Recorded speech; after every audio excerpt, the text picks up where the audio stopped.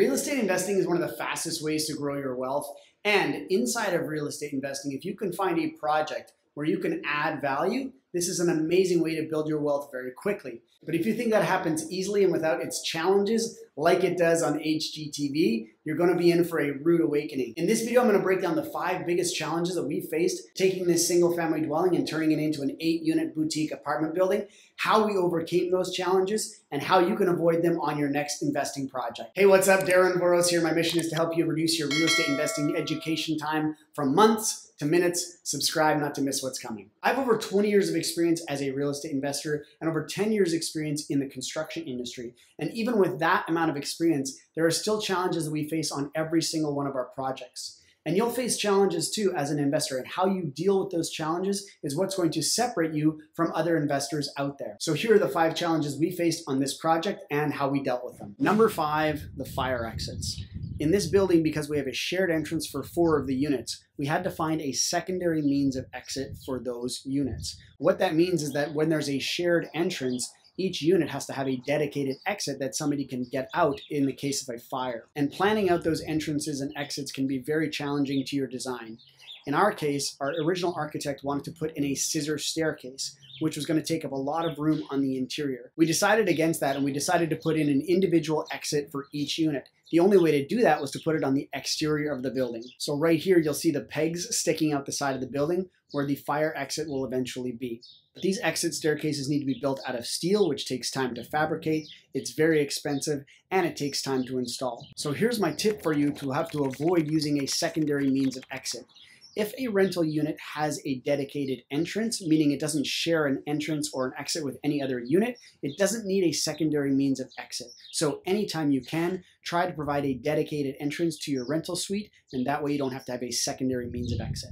Challenge number four was figuring out our heating and cooling systems for this building. Behind me, you'll see the ductless splits that we're installing for cooling. These units happen to also do heating as well, but that's not the primary heat source for this building. The primary heat source for this building is radiant in-floor heat, which means that we have radiant pipes running all the way in the floor, and there's a thin layer of cement poured on top of that, and those radiant heat pipes will provide heat for all of the units. The good thing about this system is that because each unit can be individually controlled by a thermostat, tenants can control their own heating and cooling. The downside to this system is there's no way to separate out the gas meters for each individual unit. So we as the landlords pay for heating in the home. One of the ways you can get around this is you could have an individual boiler in each unit, but this gets very cost prohibitive. My tip for you is find heating systems where you can separately meter everything so that your tenants pay for their own utilities. Challenge number three on this project was hydro. We took this building from 100 amp service up to 400 amp service because we have eight units in here, and so we need 400 amp service to service all of those stoves, washers and dryers, and everything else that's happening in this property. And the challenge with 400 amp service is that generally that requires underground service here in the city of Toronto as opposed to overhead, which is much easier and much less expensive. We also were plagued by delays by Toronto Hydro, which has a bit of a monopoly here in Toronto, and we can't go with any other service provider. So we're really at their will as to when they were going to come out and upgrade the service. So my tip for you is if you can, I would try to avoid having to upgrade your electrical service. If you can go with solar panels, gas appliances, anything you can do to reduce your electrical load is going to help you so you don't have to go and wait for months and months and months to get your electrical upgraded to these larger systems. The number two challenge that we had on this project was labor shortages. We had people commit to doing work on our projects and then they just wouldn't show up for months at a time. Where I'm standing right now was a giant hole in the ground for almost four months.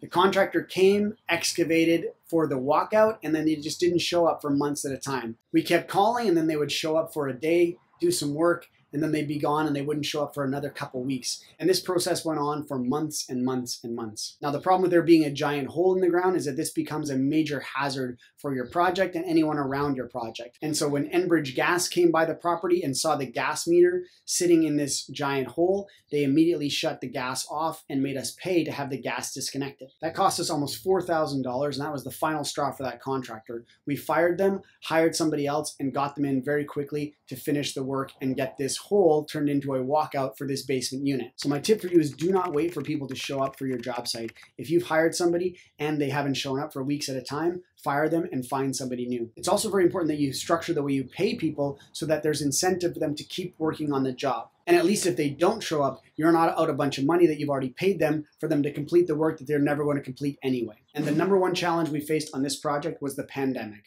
We didn't expect things to take as long or cost as much as they did in this project. And although we built in contingencies of 10 to 15% on budget and time, it just wasn't enough. I'm not sure how many pandemics you're going to have to deal with as an investor in your lifetime. I've only ever had to deal with one, so we really didn't know how to deal with this situation as it came up. But this is why it's really important that you build in these contingencies for every one of your construction projects. The level of your contingency should be based on your amount of experience as a real estate investor. If you're relatively new to being a real estate investor, I would say you want to budget 20 to 30% overage on time and materials. If you're more experienced and we're in regular times, you should be able to get away with a 10 to 15% contingency budget on your renovations. One of the things that has helped us during the pandemic is that real estate prices have been climbing at the same rate that labor and materials have been climbing as well. So they almost balance each other out. But that's not something that you should be relying on in your project is that the real estate market is going to continue what it's done in the past. So now I'd love to hear from you. What are some of the challenges that you faced on your projects and how did you overcome them and what is your tip for people to be able to avoid that problem in the future. You can leave those in the comments section below along with your real estate investing questions that you have for me. You can also follow me on Facebook and Instagram where I post regularly. Thanks so much for watching and I'll see you on Tuesday.